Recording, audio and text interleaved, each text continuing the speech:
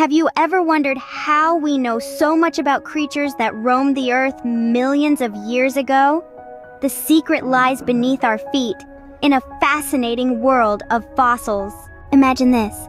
A long, long time ago, perhaps when dinosaurs roamed the earth, a tiny insect landed on a tree.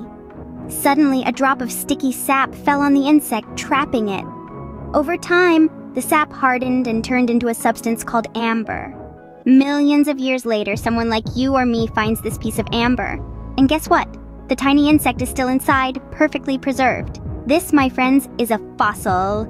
Fossils are like time capsules, holding secrets of the past. They come in all shapes and sizes, from tiny insects to massive dinosaur bones. And they're not just about animals. Plant fossils exist too. Picture a leaf falling into a soft mud puddle and leaving an imprint.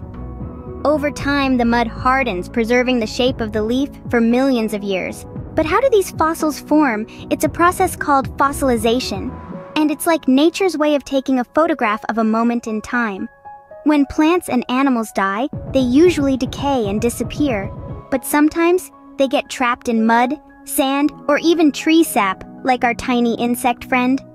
Over time, these materials harden and turn into rock, preserving the shape of the creature or plant. Now, you might be wondering, how do we find these fossils? Well, it's like a treasure hunt. Paleontologists or fossil scientists dig in places where they think fossils might be hiding.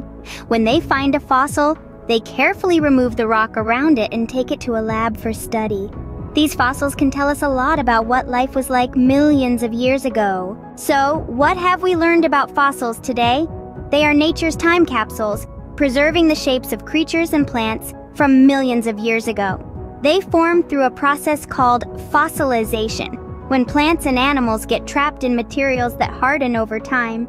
And finding them is like a treasure hunt, with scientists digging in the ground to uncover these hidden secrets of the past. Fossils give us a glimpse into the history of our planet, telling us stories of life long ago. So, next time you're out for a walk, look down. You never know, you might just stumble upon a piece of history.